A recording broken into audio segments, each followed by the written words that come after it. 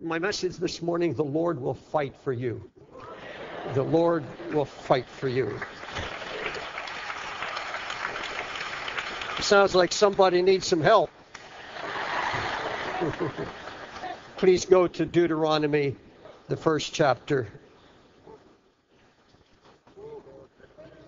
Deuteronomy, first chapter.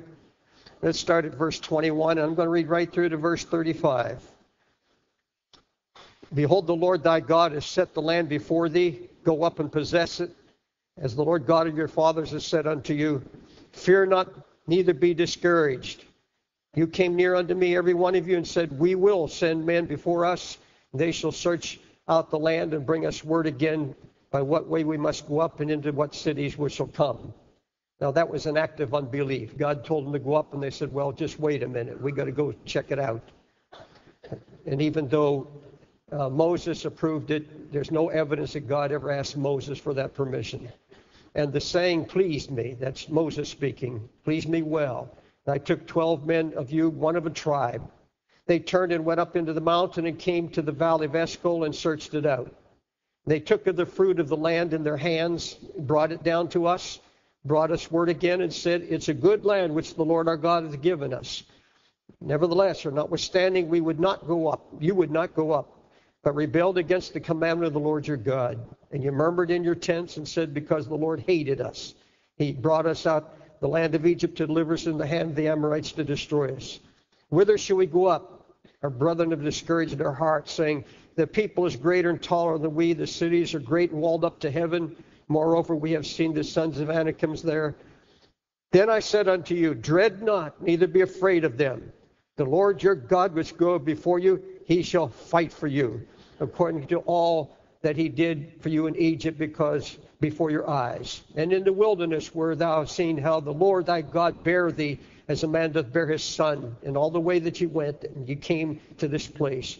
Yet in this thing you did not believe the Lord your God who went in the way before you to search you out a place to pitch your tents in, in fire by night to show you by what way you should go, in a cloud by day. And the Lord heard the voice of your words and was wroth and swore, saying, Surely there shall not one of these men of this evil generation see that good land which your fathers swore to give unto your fathers. Now, Father, this is the third or fourth message you put in my heart regarding unbelief. And I'm asking you, Lord, to speak so clearly awaken our hearts to the, the horribleness of this sin of unbelief and help us to see this mighty God who's promised to fight for us. And let us rise in faith this morning, believing God for the impossible. God, for those who need a miracle, for those facing a crisis, for those, oh God, going through the hardest time of their life, let faith arise. Oh God, we ask you to forgive our unbelief. Lord, you won't let me get away from this subject. You're dealing with me, deal with all of us, likewise in your marvelous love. I pray in Jesus' name. Amen. Now, the book of Deuteronomy is Moses rehearsing with the children of Israel in Kadesh Barnea about why God turned them back into the wilderness. now, children of Israel, after 11 months, came to Kadesh Barnea, and they could look over the hills and they could see the Canaan land. They see the promised land. They were that close. And the Lord commanded them to go in. And of course, they disobeyed, and this is what we just read. And so they were cast back into the wilderness, and they wandered for an additional 38 and a half years. And Moses now is speaking to the children. There, he, he's speaking to the children of, is, of the the fathers who died in the wilderness. And he's reminding them of why their parents were wasted in the wilderness, how they lost the vision of people who were called and anointed, uh, of, people who God so loved, who, who so miraculously cared for and bore them up in his arms, and how time after time unbelief and doubt and murmuring and complaining entered their hearts, and how they grieved God and God's patience came to an end with it. And he said, No. He, he saw the committed unbelief. They were committed to unbelief. There was nothing God could do. There was no miracle he could perform that would change their minds. They were set in unbelief like concrete. And God said, That's enough. And He said, Go back into the wilderness, not one of you. Not one of you is going to enter the promised land. And hundreds of thousands of men that came out of, out of Egypt died, wasted, empty lives in the wilderness. And he's trying to say to the children now, you're going to go in, but he said, I want you to remember what happened to your parents. I want you to remember what happened to your fathers. They're all dead. They're all gone. You don't have any of them now living to be 100. Uh, Moses lived to be 120. Aaron 123. And, and Miriam much older than that. And they were not living. They're gone. Every one of their fathers, the elders, were all gone and dead except Joshua and Caleb. And he's also speaking not only to the children of that generation, but he's speaking to us today, upon whom the ends of the world have come. And the message is Beware lest any man fall after the same example of unbelief. Beware lest you, in the last days, fall. He calls it a fall into this unbelief, the same kind of unbelief that caused them to be driven back into the wilderness and live such empty, wasted, devastated lives He said, Take heed what manner of uh, impossibilities you face. He said, Be careful of the impossibilities that come against you. Beware that you understand that God will lead you. He led them into these crisis situations to enable them to trust Him, to see His power, and to, to build. He wanted a people who would be unshakable in their faith tested and tried, that a golden faith would come forth as a testimony to the whole world at that time and for history. And God uses some very strong language when referring to the, the unbelief in these children of Israel. Words like wrath. This is God's attitude toward their unbelief. God was wrath, wrath, anger, abhorrence. He said, You've tempted me. You've tempted me with your unbelief. Moses reminded Israel, You saw how the Lord your God bare thee, as a man that bare his son, in all the way that you went. He went before you to search out a place for you to pitch your tents. He gave you a fire by night to show you the way. He gave you a cloud by day, yet you still not believe, did not believe the Lord your God. The Lord heard the voice of your words, and he was wroth saying, I tell you, not one of these evil men or doubters shall see the good of the land except Caleb. He, he, said, God led us to Kadesh Barnea, and he said, There he tried us. He said, You saw the land. And God said, Go in.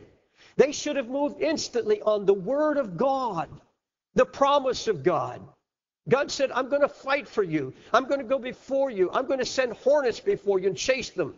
I'm going to chase them like bees. I'm, I'm, I'm just going to chase them, and you're going to, many of these battles, you're just going to stand still and see the salvation of the Lord. Go! Moses and the elders decided to send spies into the land. Now, folks, here's the lesson, and learn it well. You see, when we don't act immediately on God's word, if we don't stand and act on God's word and allow that to chase the doubts and fears from our life and move on that word, this word is given. God means what he said. He doesn't want to have to repeat it over and over again. He gives it and says, I expect you to believe it and stand on that word. They should have gone on. They would have marched into the promised land. They would have had victory after victory, and God would have would have undertaken for every one of their crises. He would have seen them through.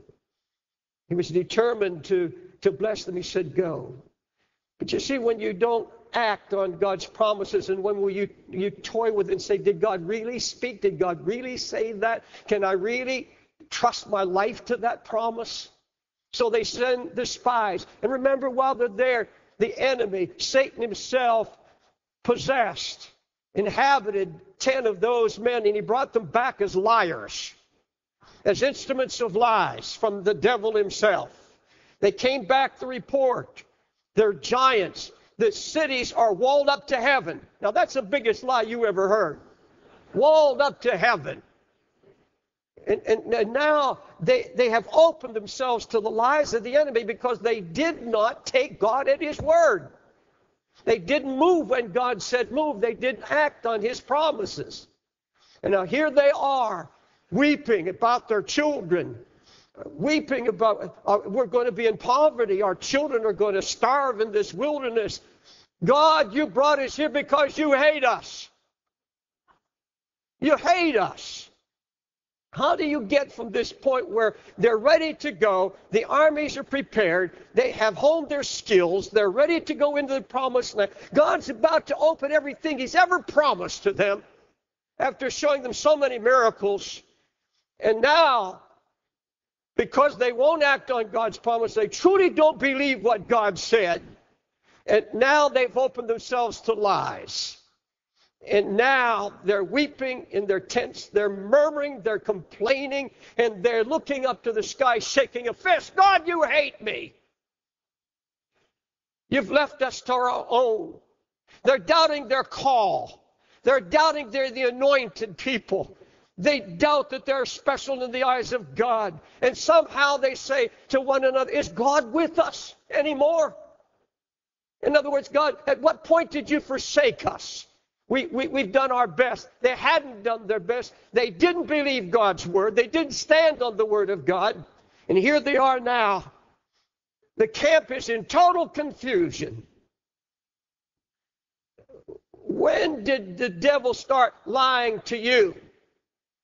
How many of these lies out of hell have come against you that you're not going to make it, that you're not good enough, that God is mad at you for your past sins and really hasn't forgiven you? How is it that you can stand by and you, you know that God has called you to a life of peace and rest in the Holy Ghost? He's made you promises. I'll never leave you, I'll never forsake you. He's made you promise that He's merciful, more willing to forgive than you are to confess. He said, I'll never leave you, I'll never forsake. What happened? When did you start believing the lies that God's going to fail you in your crisis? When did, did that come to you? Because somewhere along the line you did not take God at His word. Somewhere you did not act. He said to them, Fear not, neither be discouraged. But you see, they straggled, they, they staggered at God's promises. God had said, No enemy will be able to stand before you. But the Bible said they would not go up, but rebelled against the commandment of the Lord. Now, Kadesh Barnea is a place God brings all his children. It's the this is the place of ultimate testing of faith. The root word means fugitive, vagabond, or wanderer, because you see, if you make the wrong choice at Kadesh Barnea, you're going to be a fugitive. You're going to be running and wandering through a wilderness the rest of your life. And how you react, your Kadesh Barnea is a test, an ultimate test. You've come up to many tests. You can look back over your life. You can see so many deliverances that God brought you through. Look back now and try to count the times that you thought that you were going down. And here you sit in this auditorium today. You look back with mercy and grace of God that's been poured upon you. And you can say, God has never failed me. It was hard at times. I thought I'd never make it, but God somehow, some way, He made a way. There were times my finances looked so bad. There were times I thought I was I was going to go bankrupt. There were times I thought our family would be broken up. I thought my children would never hear the voice of God. And, and looking back, oh, I look back at all the hell that I experienced at times. Look back at so many times God in His mercy reached down and picked me up. And I stand here now in the grace of God. And you are here by the grace of God. But there comes a ultimate testing time in our lives when we face to face with a battle so intense, so beyond anything we've known in history. And the Lord is trying to break us through to a place where we'll never doubt Him again. He's trying to produce in us a kind of faith that is pure gold, For you see, without it, you can't please Him. You can't please Him just by doing works. You can't please Him by Bible reading. You can't please Him just by intense prayer. You can do all of that and still not please Him because you've done it in unbelief. You can pray and still not believe that God answers them. But He says, without faith, you cannot please Him. And the Lord brings them, Kadesh, Barnea, and they have to make a decision. They move on and live by faith. They have to absolutely put their hands in the hands of God because, yes, there are enemies. Yes, there are walls. Yes, there are giants. There are things ahead of them that look impossible. And yet God says, folks, I cannot understand why God subjected his miracle working power to human faith. I will never be able to understand that that God has limited his miracle working power in the hands of our faith. Because you see, it, Jesus said in his own country, his own place, he could do no miracles there because of their unbelief. He said, I can't work. Unbelief paralyzes God. And if you're facing a battle now, you're facing a crisis in your life. I don't care if it's financial, marital, on the job. I don't care if it's about your children. I don't care what it is. Whatever the issue is out of your heart or in life. If there's unbelief, God is paralyzed in working it out for you. Absolutely paralyzed. He said, I cannot do any work because of your unbelief.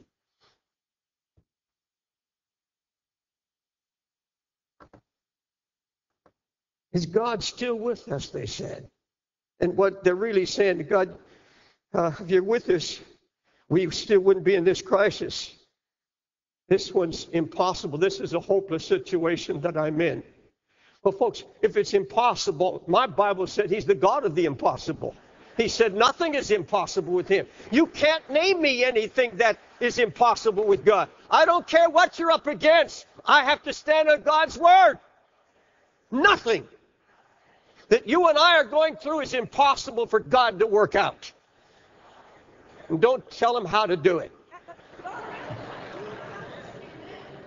Let me put my finger on the root cause of Israel's unbelief. It's the same root cause today. God's spoken word, his already revealed word, was not enough for them. They heard it and then immediately forgot it because it was not mixed with faith. And you see, the word that we receive from this pulpit or any pulpit where the true word of God has gone forth, if you don't immediately mix it with faith and have the Holy Ghost imprinted on your mind and say, I will not forget this, I'm going to make this a part of the fiber of my life. And, and God will speak. But you see, every word that God has spoken, they're in a crisis now at Kadesh and they're about to go over, but they have forgot every promise God made. They have they have removed from their mind all the miracles and all the remembrances of that which God had done in the past. And here they stand in their crisis, and they had not laid hold of a single promise. I'm asking you, when you hear preaching from this pulpit, do you lay hold of it? Do you let it take as a seed take root in your heart? And say, oh God, Water this with your spirit. Let it take roots so that when I'm in a crisis, I have the word that I need. But you see, it was useless. It was not mixed with faith. See, they wanted a new word, they wanted a fresh revelation. God, are you with us or not? In other words, Lord, I really have to hear from you now. I have to have a word. And folks, the word that came through the lips of Moses, God said, Tell him, I am the Lord your God and I will fight for you. But that was not a new revelation. It was not a new word. God says, I'm going to remind you, I already gave you everything you need to see you through. I told you, you it was in Exodus 14 14. They were told long before the Lord shall fight for you. You shall hold your peace. In Egypt, he told them, I will go before you. I will fight for you. I will dwell among you. Deuteronomy 3:22, you shall not fear, for the Lord your God, he shall fight for you. Over and again, he said, I'm with you. I'll fight for you. I'll, I want you, though, to lay hold of this promise. But here they are, trembling before their enemies and saying, Is God with us or not? Is that what you're saying now? Are you saying, Lord, I, I know that you said that you'd not let us bear any more, you'll not allow any difficulty in our lives more than we're able to bear? But Lord, I've reached the point where I cannot bear. I've passed that point and you're not there yet. I don't see any evidence of you undertaking for my crises. Lord, you said you wouldn't allow me to bear more than I'm able. But this is more than I'm able to bear. I've passed the crisis point. Right now, I'm in a place where I wonder if you hear my prayers. I wonder if you're with me. Are you among us or not? If you're among us, why aren't you working? If you're fighting for me, where is the evidence?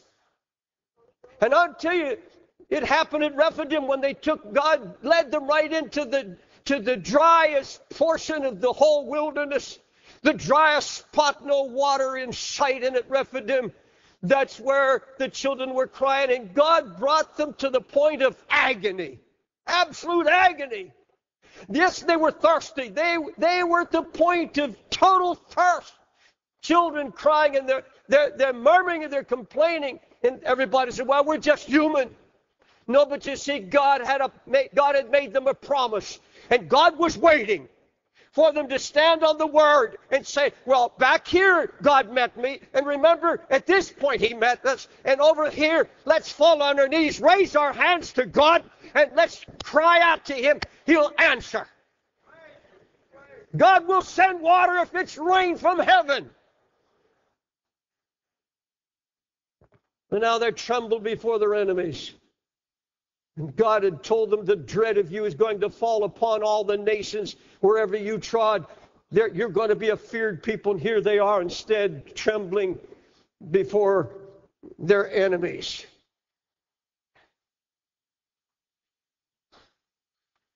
Do you dread? Do, do you dread and tremble before your enemy? Would that be setting sin? God has made you so many promises that He will deliver you. I, I like what David said I will fear no evil. I will fear no evil, for thy rod, thy staff, they comfort me. You see, the devil wants you to tremble before him. And this is what God despised that he sees his people trembling before his enemy, his archenemy. When God had made them every promise, to sustain them, that no enemy could touch them. And, folks, exactly what God has said to you I'll never leave you, I'll never forsake you. I'm more willing to forgive than you are to confess. And if, if you cannot lay hold of those promises, you'll just tremble before the enemy. And the only way out is not by trying to promise God to do better. It's not gritting your teeth saying somehow. Yes, God does sanctify our will. The Holy Ghost comes and gives us the mind of Christ. He does empower us, but He wants more than anything else that you walk in the faith of His promise. The covenant of God, all the covenants work only through faith. No other way to bring the covenant into full uh, fruition in our hearts. you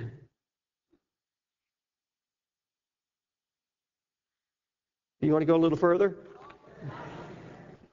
I believe that unbelief in the New Testament is a greater sin than unbelief in the Old Testament. it's a greater sin. And he did not many miracles there because of their unbelief, Matthew 13, 57. Now you think about that for a minute. This is the New Testament. And this is how dangerous it is. He said, because of unbelief, they, I could not, I would not, I could not do anything in their midst the scripture says under the New Testament that, that his own disciples couldn't cast the demons out of a little child. And the Lord said, because of your unbelief. In fact, in the New Testament, Jesus was absolutely shocked at the unbelief of his own disciples. The Bible said he upbraided. In other words, in plain English, he disgraced them for their unbelief. In fact, the Jews, because of their unbelief, Scripture says in the New Testament, broken off of the vine. Folks, we have something that the Old Testament saints could only dream about. They could only dream about the communion that is possible that we, we now experience. You see, in the, in the Old Testament, the Holy Spirit occasionally moved upon them. You'll read, and the Spirit of God moved here, the Spirit of God moved here. But you see, the Holy Spirit had not been outpoured yet. And, and we live now in the time of the outpoured Holy Spirit. And you see, when they worship, they had to go to the temple. But you see, today God has made us the temple. This body is the temple of the Holy Ghost. They had to go to the temple. Now God comes here to his temple. The Holy Ghost abides. He has given us, He has given us His own Son to bear our burdens, to carry us like a father does his child. He has endued us with the Holy Ghost. And we have all of these privileges and promises that the people could only look about in the Old Testament, only dream about. And we live in this glory. And still we doubt him. They could only dream of what you and I enjoy now. You see, we have a Christ that's available any hour of the day or the night, 24 hours a day, a whole lifetime. You can call on the name of the Lord and you can hear his voice. My sheep know my voice and they hear when I call. We have this privilege and we walk stone deaf.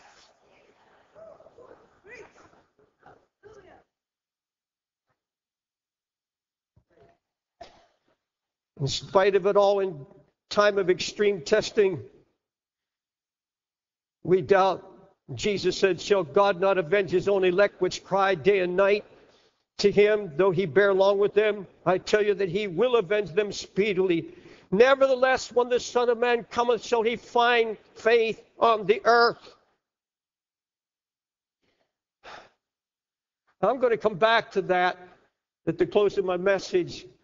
And that has to do with the experience I had last night on 42nd Street when I went back after 16 years where God called me to raise up this church. I went back last night to have a time out, have some time with God, reminisce with God, and have Him speak a new word to my heart. And I'll tell you, it has to do with this when He returns. He says, "Am I going to find any faith?" Let me tell you the consequences of unbelief. All that generation, Deuteronomy 2, 14 to 16, all that generation wasted away the hand of the Lord was against them to destroy them. Now, folks, these are strong words. These are strong words. The hand of God was against them, his, his own people. His hand was against them. And he said, Not one of you, not one of you are going to enter in to the promise that I made, to the rest. See, the promised land is a life of rest and peace and trust in God a life without fear.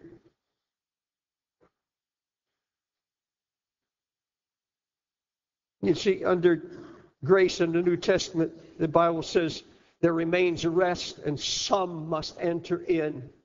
You know, when I read that this week, some must enter in. I said, Oh God, if some are going to enter in by grace, I'm going to be one of those that enter into that rest. Some have to. That's a command. God says some are going to enter into that rest. They're going to get the word and they're going to enter in. You see, unbelief defiles every area of our life. Now, we have faith in many areas of our life. We have faith that God is truly God. We believe that the Holy Spirit is on earth and he's, he's at work, that He's a comforter. We believe that we're saved by grace. We believe it's possibly sanctified by the Holy Ghost. We believe so many things. We believe there's a heaven. We believe there's a hell. We believe in so many areas, but I want to tell you, if you have, if we have in one area of our life, we're doubting Him seriously in one area of our life, that spills over. It's like a cancer that defiles every issue that pours out of our heart. All the issues of life are out of our heart. And if there is one area in our life you, you, say, for example, your children are not serving God, and, and you believe for every other area, but in this one, you, you, your heart is sunk and you've, you've almost given up on that. That area can defile every other source of faith in every issue in our lives. God's really been dealing with me that God says, "What you want to faith? You're going to trust me that everything in your life, your finances, your job, your career, your marriage, your relationships, everything. If you're going to have rest, you're going to have to have it in every area of your life. You can't rest in one area and be agitated in another area. You can't be mad at somebody. You can't hold a grudge against somebody, expect peace here, though you trust them in every other area of your life. You don't trust them for forgiveness and reconciliation.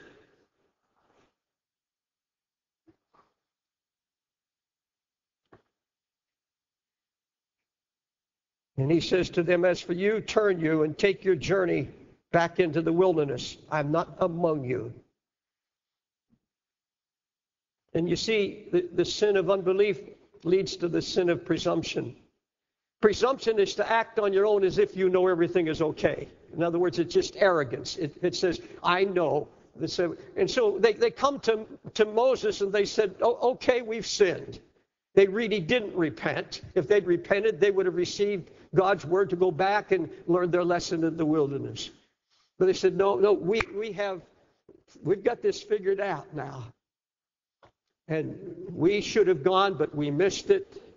Uh, now we're going to go. And so they, in their own skill, own power, their own abilities, they organize captains and they organize a small army and they head up the hill to uh, the Moabites. And Moses said, You can go, but you're not taking the ark. The ark stays right here in the camp. God's not going with you. You go, you're going alone. You see, we'll, we'll give God time. We'll, we'll, say, Well, Lord, it's past the deadline now. You, you didn't answer. So I'm going to have to do something about this. And so we take it in our own hands. It's presumption, it's arrogance. And say, well, well I, I have to get a hold of this or I'm going to go bankrupt. I have to, I have to do something no, all you have to do is pray and believe that God hears you and open your heart and your ears for His direction and say, Trust, live or die, I'm the Lord's. If I go into the furnace, I go into the furnace. He can deliver me, but if not, I'm going to die in the furnace. I'm going into lion's den. God can shut their mouth, but if I'm meat for the lions, I'm going to be resurrected and I'm going to be with God in glory. We have to come to the place we don't even fear death. We don't even fear the spoiling of our goods. We say, God is in control of our lives.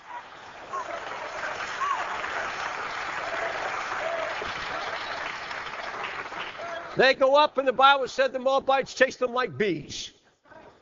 Chased them like bees. And you see Christians being chased like bees all over the world today because they're doing it their way. They're no longer trusting God.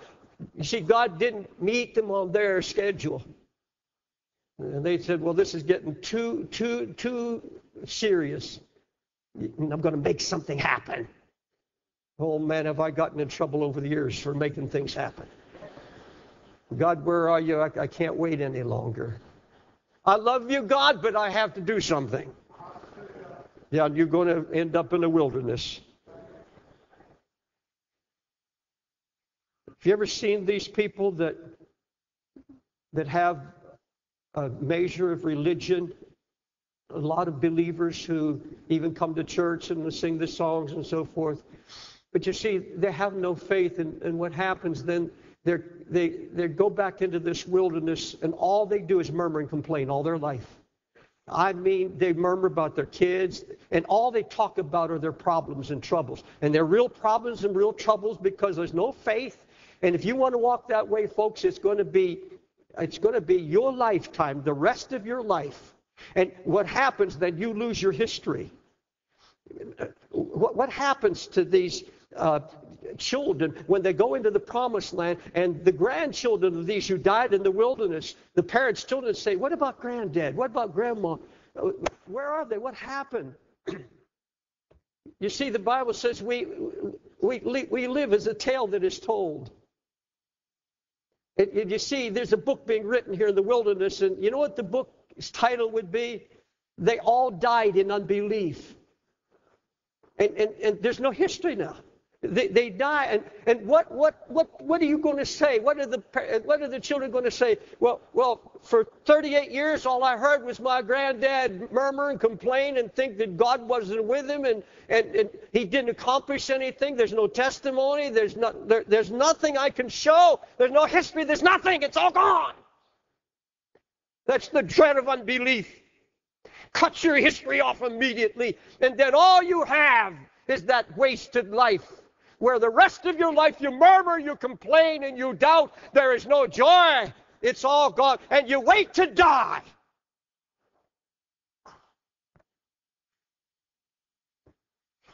I have a lot more, there, but I, I, I want to just get it out of my heart.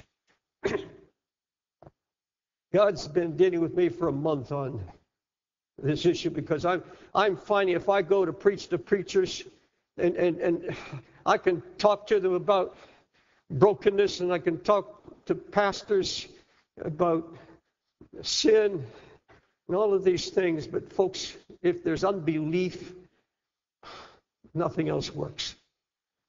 This issue has to be dealt with first. Am I going to trust God with my life? I went down to 42nd Street last night. Gwen's down in Dallas visiting grandchildren for a week and be home tomorrow, but I was alone, so I went down last night to 42nd Street. Between 7 and 8, that's when it's most crowded. The, the shows, all the show people are coming in, racing to the shows. I went to the spot where 16 years ago I stood weeping, where they were selling uh, crack cocaine and they were advertising death. I got the good stuff that'll kill you. And I remember weeping there, and God said, raise up a church right here in Times Square. I went back to that spot. Ford Theater's there now, and there's steps. And so I went up the steps and just sat there and I watched the multitude. Now, it's been estimated uh, probably on 42nd Street in, in a rush time during showtime could be probably a quarter million people go uh, past there. And I, I just sat there looking at these people running by. And I heard the Holy Spirit whisper, They have no God. There are no believers but a few. In fact, the few believers there saw me and came up and said, Hi, Pastor, what are you doing here?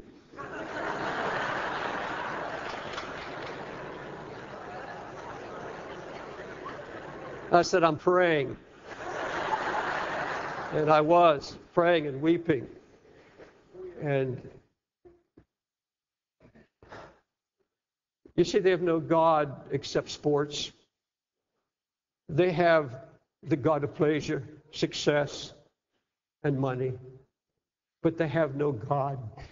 They have those false gods. They're all, on all this mass going by. And I'm thinking, they, they say there could be a quarter million, and, and they're not all here. Some of them are all, all the way up Broadway. So I'm, I'm probably seeing 150,000 people here in, in, in an hour going by with no God except in name only.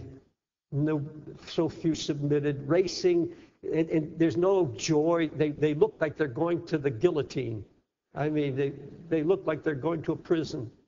They're just racing. And I thought, now, there are at least 600,000 men that came out of Israel. And I said, I'd have to stay here half the night to see them pass by by the thousands. Here's maybe 150,000 passing by. And it was such a mass. You, could, you have to walk out on the road. the whole place is filled. In fact, I had to fight my way through to get to the Ford Theater from 42nd Street just to get to the theater. And I'm, I'm thinking, I had I'd have to wait here for hours before 600,000 men would pass me, all going into the desert, all full of unbelief. And it struck me. And the Holy Spirit was teaching me. He said, You would have to see. And, he, and the Bible says only two. Now, can you imagine that multitude going by and only two men get into the promised land Joshua and Caleb? And over 600,000 fighting men all died before the time, died in despair because of what? Unbelief. Unbelief. And I think of Jesus. I said, Oh God, how do you reach them? Is there anything we have not done yet?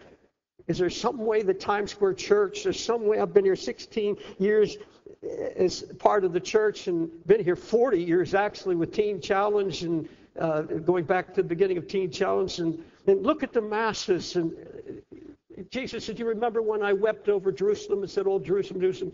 They, would come from all over the world. The masses were in the streets. And he went out and he, he, at a vantage point, just like I'm sitting there at a vantage point, and he's looking, he's weeping. He said, Oh, if you'd only knew, I wanted to gather you as a mother hen under my wings, as a mother hen gathers her chicks, but you would not. You would not. You see, these people that are marching by, they have the gospel on the internet, they hear, hear it on television, they hear it on all these different places. They, they, they have a testimony right here. They walk right by it here on Broadway.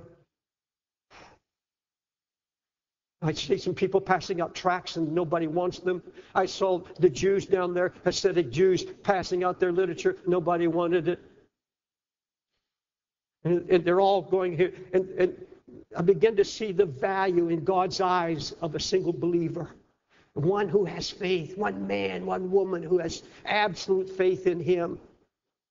I, I was, I looked across the street, and there, there's a great big billboard, and it's it's a new uh, music video uh, network that's being. It's called Fuse, F-U-S-E. It's it's it's an evil uh, music video outlet. Here's a picture of Tammy Bakker, all dressed up in drag. And it says, I saw the light, and it was a TV with music videos. And under it says, Tammy is number one for Fuse, Tammy's number three for drag queens. And I'm like, it's, that's way, go down, you'll see it sitting up there way on top of Broadway to see what unbelief does, to see how far low in sin a man can go when, or a woman when there's unbelief, when there's no trust in God. And I, I, I pictured sitting there, the, the Lord saying, It's near time. He's about to come. And so the searcher of all men's hearts starts searching for those that are trusting him. And he goes to the football stadiums all over this country. Football stadium, hundreds of thousands every Sunday. And he can't find any faith. And then I see him going into Washington, D.C., into the Congress, and into all of the legislative bodies all over the United States. And he can't see any faith, and all he sees are those trying to push him out of this society not even want to mention his name. They want to absolutely take God out. I see him searching in every college campus. And he can't find any faith. Here one, and here another. And I see him searching football stadiums. I see him in hockey arenas. I see him at basketball courts and all the venues all over the United States. He's looking, he's searching, where are those who are going to believe me? I, I came to die for you. I came and gave my life. Where is anybody that believes me, that trusts in me, give their life to me? And he can't find them. And I hear an angel say, Go to your church. And so he goes to the modern church and he looks everywhere, and they don't even believe in his birth as God. They believe, don't believe in a virgin birth. There is no faith. There's nothing but death. And he searches these cathedrals and he searches the city and he especially searches New York and he goes in search of men's hearts. Do you have faith? Do you have faith? Do you believe? He knows the hearts, but he's looking, searching. And then he comes to his own people. And remember the scripture said he came to his own and his own accepted him not. He came to his own people and they didn't believe in him. And I began to feel the grief of God's heart because he comes into his church, he comes into his own body, to his own family, to his own children, And he sees despair, he sees fear, he sees so few that believe and trust everything in their life to him. And the Lord spoke to my heart. He said, I am not grieved by this. They've made their choice. They're children of the devil. But I am grieved because I have so few, so few to trust me. So him. And the search of men's heart is here today. And I hear that ringing in my heart. And I'm, I'm sitting there and said, Oh God, surely up a few blocks on 50th Street and Broadway, right next to the most wicked show in Broadway, right here. And down here, Taboo. That's Boy George. It's all drag, it's all homosexual. And you see them lined up trying to get in there. You see families lined up, and you see people lined up to see these shows. And, you say, oh, that must grieve the heart of God. Not nearly as much as what he feels in his heart when he comes to his own house. He comes to his shepherds. He comes to me. He comes to all of us. And he says, do you trust me? When I come, am I going to have, am I going to find any faith? And faith will not take matters in its own hands. Faith will wait on God. Faith will stand still and see the salvation of the Lord. Will you stand?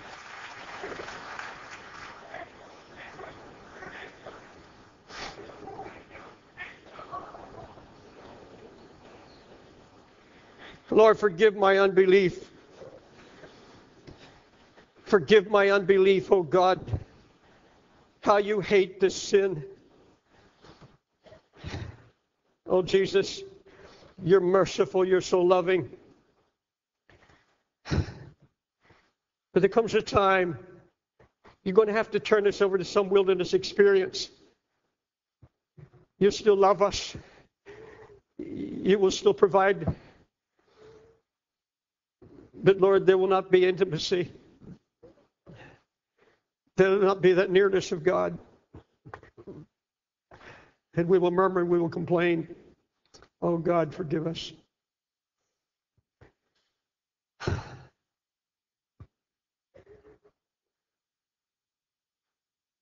Lord, let this be a church that believes fully and completely in your faithfulness in a time of need even in the time of death. Oh God. In these last days, when men's hearts are going to be failing them for fear, and even now it's happening. Folks, can I tell you something? Look this way just a minute. I stood over the balcony, the street balcony of Ford Theater last night, and I said, Oh God, a number of years ago I stood here, and you showed me a vision of a thousand fires burning in the city. And you showed me 42nd Street all ablaze, horses, police horses, and gunshots, and young people running over the cars and upsetting cars and setting things on fire. I said, Oh God, have I been misled? Did I, is something in me that just was that personal? Was that flesh? And oh, Spirit of God came on me so strong. No, David, every word. He said, I've been patient, long suffering. I've, I've even tried to bring a government that would have some sense, semblance of righteousness because of my mercy. But the time is coming. And I believe I'm going to live to see, I don't want to live to see that day, but I believe I am. When all of this comes to pass, these things are going to happen, folks. You're going to need to have faith. You're going to have to trust God. You trust God. He'll see us through. He will not fail us. God is faithful. Do you believe that? How is it that these that the apostle ministered to? The apostle could say, You took joyfully the spoiling of your goods. You were chased and you were harassed. But God has never failed. He will not fail you. He's going to keep his children in the hollow of his hand. You're not going to starve. Your children are not going to be given over to the enemy. God's going to see you through. I'm, i know that I stopped this prayer for one reason because I, I believe that there are a number hearing me now. And, and I, I base this partly on the response I got when I announced my subject. The Lord will fight for you. That many of you are facing that ultimate test. God brought you to this place. You're at Kadesh Barnea right now. And the Lord's brought you to this place. Everything that's happening in your life, God has had a hand in it. He's allowed it. He's going to see how you react now. How do you react? Will there be, from this moment on, after what you heard, still some murmuring and complaining and saying, God, why did you let it happen? Or why are you letting this happen?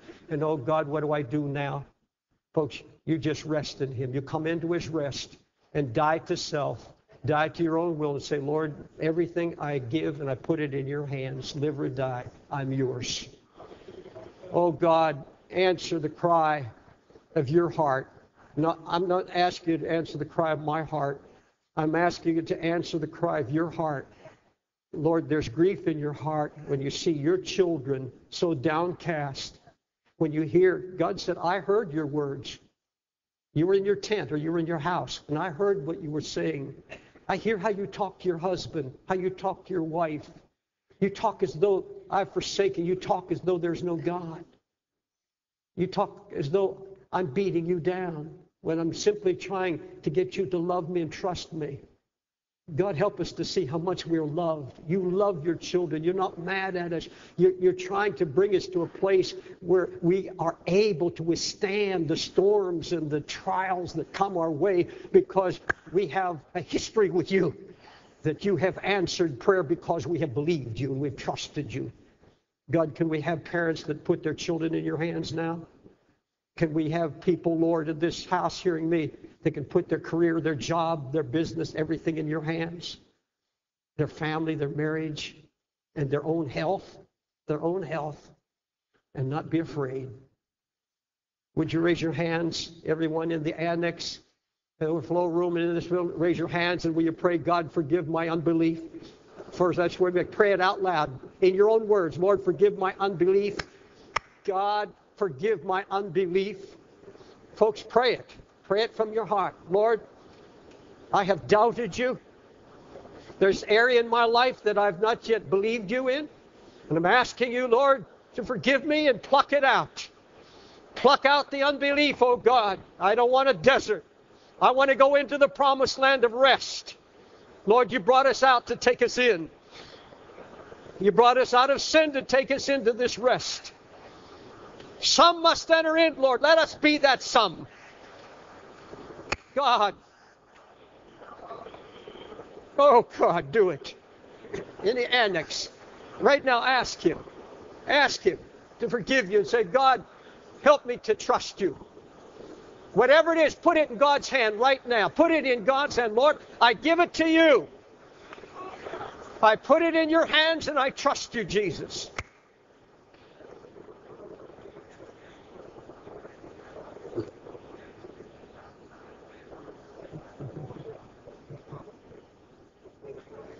Now, you can put your hands down. I'm going to give an invitation uh, for just one segment here. You may be visiting us for the first time here and in the annex. But I'm giving an invitation. I'm not going to give an invitation for those who, who, who acknowledge unbelief. Everybody would come. but there's some of you have walked in here now. You have to get to starting point. You're not even at the starting gate because you have slipped away from the Lord. Maybe you walked in here, you have never really known Christ as Lord and Savior in your life. And He's here, the Holy Spirit's here now to change your life. It would be a shame for you to walk out of here without the capacity to believe, and you can't have the capacity to believe without the Holy Spirit. And you have to open your heart to the Holy Spirit. The Holy Spirit is hovering over everyone hearing the sound of my voice. And He's here right now to bring a miracle into your life. If, if the Holy Spirit's been talking to you now, you may be bound, absolutely bound up. You say, Pastor Dave, I am absolutely bound by fear I'm, I'm just about, it could be a sin nobody needs to know. Get out of your seat up in the balcony, go to the stairs on steps on either side, and here, man, just step out of your seat and stand here in the front, and we'll pray with you and believe for a miracle. The marvelous thing about living in the New Testament is that the Lord tore the veil. He's given us access, and we can come at any time with our unbelief and lay it at His feet. We can come at any time. He'll never turn us back. You don't have to go into the wilderness. You don't have to go the way Israel went. We're the true Israel. We're, we're the Israel of the Spirit, Israel of the New Jerusalem, and we are His children. Or how anxious He is the moment He sees you take a move toward Him. That move is not just walking down the aisle, it's a move you take in your heart. It's an attitude. Say, Lord Jesus, I have to have help. I'm asking the Holy Ghost to come and instill faith in my heart. I'm not capable of it on my, on my own. I have to have the Holy Spirit to come and provide the very faith of Jesus Christ Himself. And He does just that. That's a wonderful prayer to pray, and it's music to His ears that you want to believe, that you want His heart. And you don't want to grieve Him with the unbelief, and you don't want to tie His hands. God's so faithful. How many of you came forward believe God truly loves you? He's not mad at you. Keep your hand ra- keep your hand raised and say it. Lord Jesus, I know you love me. You're not mad at me. You're not trying to chase me into wilderness. You're trying to bring me to your heart. Lord, I don't want to grieve you with unbelief. You said I can please you through my faith. I trust you to forgive me and cleanse me of all my sins, of all my unbelief. I come to you as a child. Say, Jesus, I need you. I need you today. I need the Holy Spirit to comfort my heart and to lead me and guide me. I want to be a person of faith that you'll be pleased with, that you will smile when you see my heart because you know, like a child trusting a father, I trust you because you are my father. Now let me pray for you. Father, I thank you for your gracious love that's being poured out upon us right now. We thank you for this congregation, Lord. We've come this far by faith, but we've trusted you up to this day. Sometimes we faltered, sometimes we failed. But you saw something in our heart, Lord, that just held on tenaciously. And we say now, oh God, take us through this crisis. Take us through, Lord, all the saints that are here, both men and women, young people as well, that, that are going through a great ultimate time of testing. Lord, let them rest in the fact that you're going to bring them through to victory. They're not going down. They're going to survive. But more than survive, they're going to be overcomers. Overcomers to give glory and honor to Jesus. Hallelujah. Thank you, Jesus.